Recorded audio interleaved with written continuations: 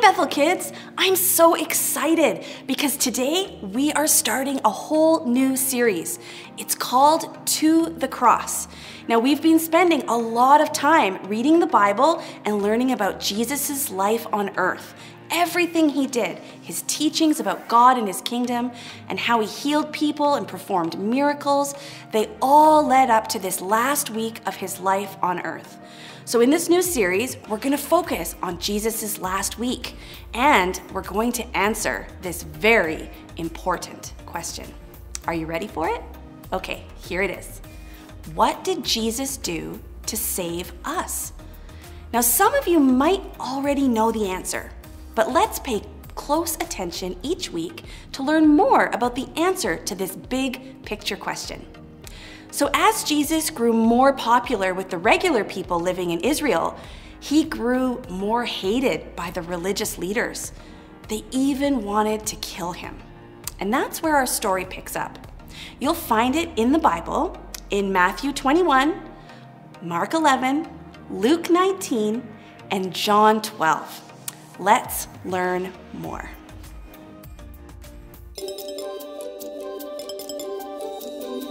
It was time to celebrate Passover, a special time to remember how God had freed his people from slavery in Egypt. Many Israelites had traveled to Jerusalem to celebrate God's amazing rescue. Jesus and his disciples were among the people who traveled to Jerusalem. When they neared Bethphage and Bethany near the Mount of Olives, Jesus sent two of his disciples ahead into a village. As soon as you enter the village, Jesus told them, you will find a young donkey tied there. No one has ever sat on it. Untie it and bring it here. If anyone says to you, Why are you doing this? say, The Lord needs it. The disciples did as Jesus asked.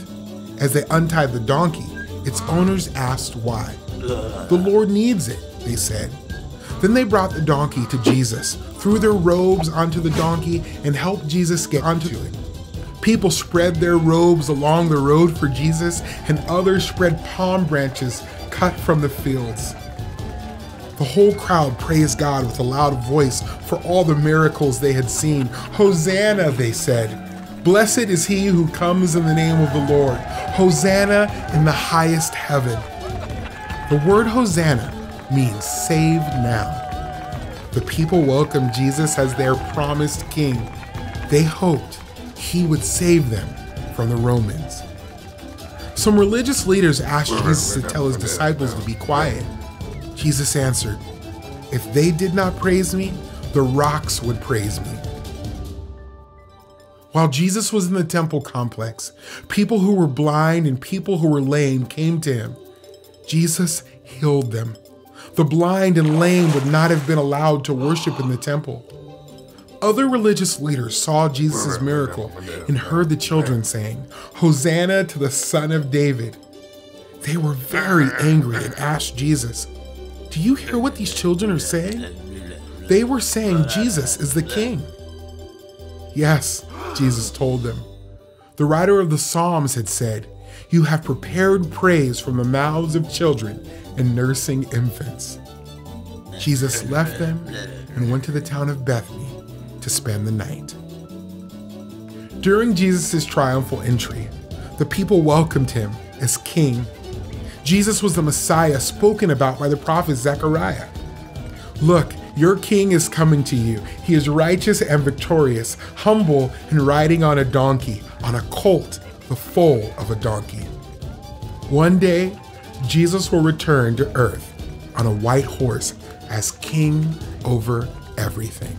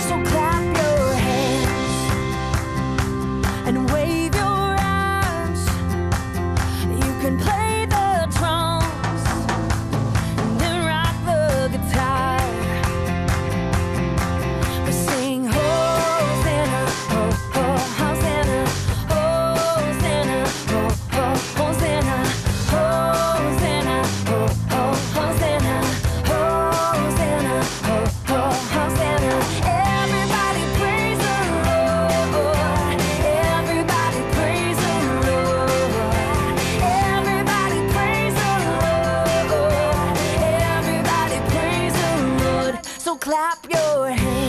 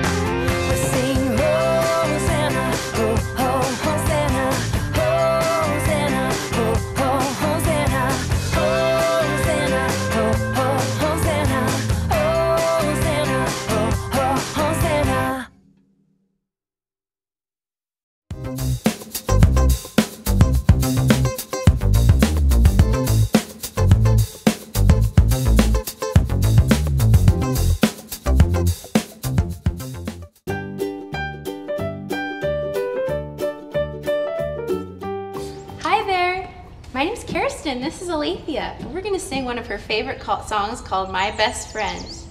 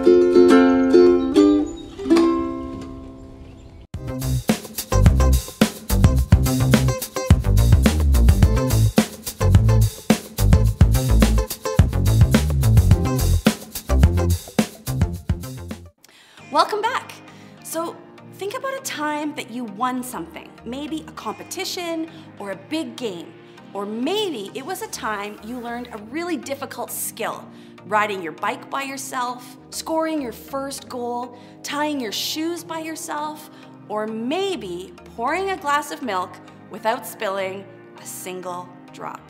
How did you feel in those moments?